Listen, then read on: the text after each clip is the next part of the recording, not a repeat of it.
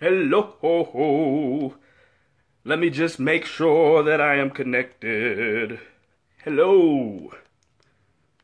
Let me see. I don't know what's going on here, but listen Facebook family, YouTube, internet. When God doesn't give you A through Z, man, listen, if you are anything like me, then you want steps A through Z. What's up, brother Mike?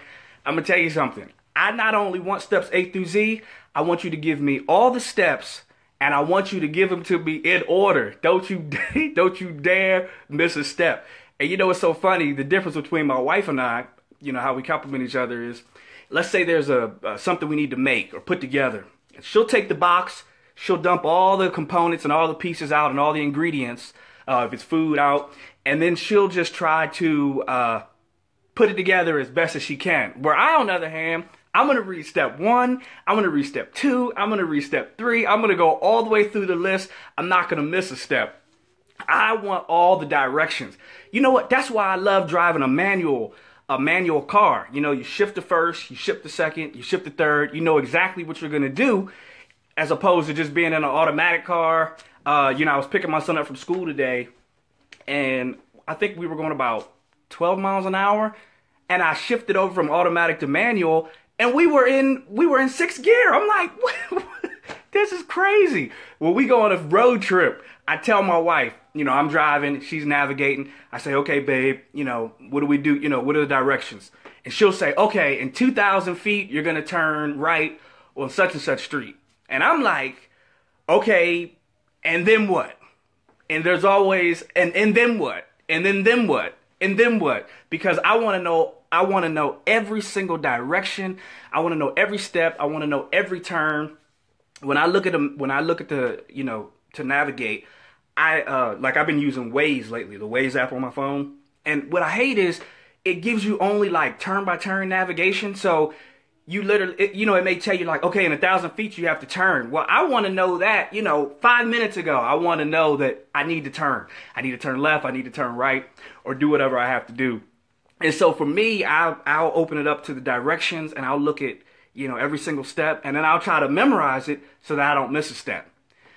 The problem is, most of the time, at least with me, the Lord doesn't work with me that way. He doesn't give me A through Z. And man, it is so frustrating. Ah! But I want all the steps. I want to know all the steps. I want to know every piece. I want to know every direction. And he doesn't give it all to me like that. I don't know if he works with you like that. He doesn't work with me like that. But you know, I was so blessed this week by something so simple. I was in I was actually in the Bible and I was reading First Samuel, um, the 16th chapter, and the Lord began to speak to a prophet by the name of Samuel. And he told him, I want you to go anoint uh, a new king. I've chosen a new king and he said, you know, I want you to go find Jesse, go to Bethlehem, find a man named Jesse. I've chosen one of his sons to be king because I have rejected Saul. And so Samuel did that. He went and he got to, you know, blah, blah, blah. He, around verse 7, he gets 6, 7, he gets to Jesse.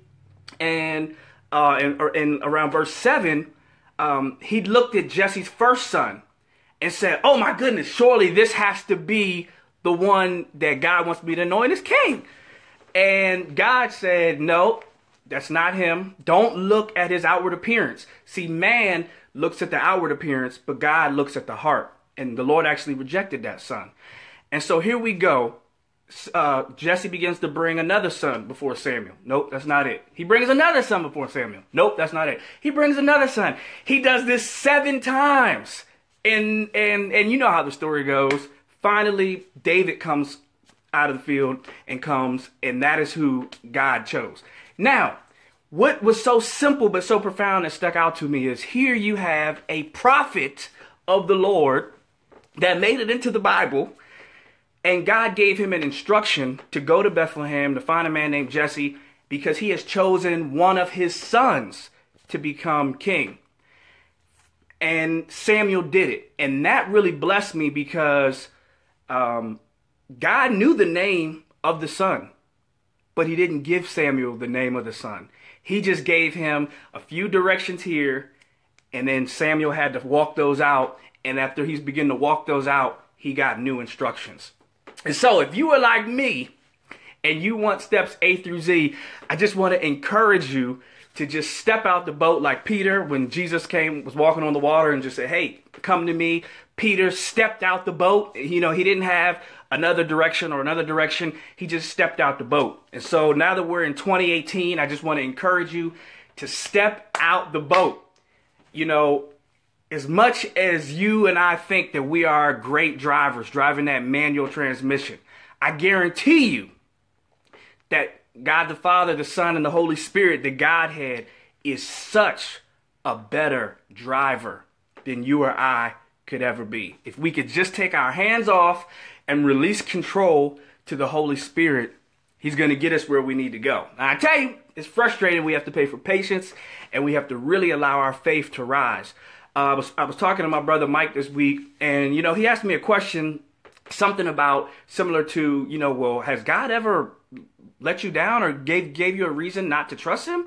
And no, he's absolutely right. God has never failed me. He's never let me down. And you know what? He's never failed you and he's never let you down either. And so with that in mind, I you know, I'll leave you with this. I remember I got a prophetic word. I know uh, my wife can attest to this. And the Holy Spirit through the woman of God began to tell me the prophetic word. She said, "You don't have to orchestrate everything. You don't have to figure out every single detail. He's in control. He's in control of the whole thing. And so I'm going to leave you with that. When God doesn't give you A through Z, don't worry. You don't need every detail. It doesn't need to be in order. Just step out the boat, release that control from your hands, and trust God that He knows what He's doing. You know, when Joseph, He gave Joseph that dream, for many of us, we we would say that was you know Z. You know, he gave him a dream of how he's going to rule over all this, but he didn't give him all the little details and all the little steps and all the little trials and fiery furnaces he'd have to go through um, to get there.